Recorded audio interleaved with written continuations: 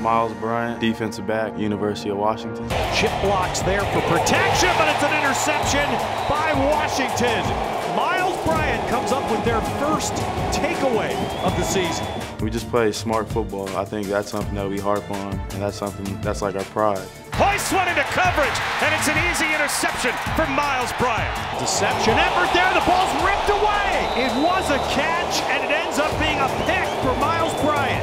Playing smart football, and that allows us to go out there, and play fast and physical.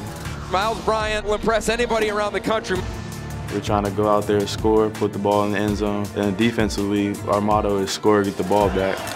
Montez, that's picked. Wow. That's the third interception. This one by Myles Bryant. Touchdown, Huskies. We'll try to hit you in your mouth. Might talk a little crap, but other than that, we just go out there and play hard.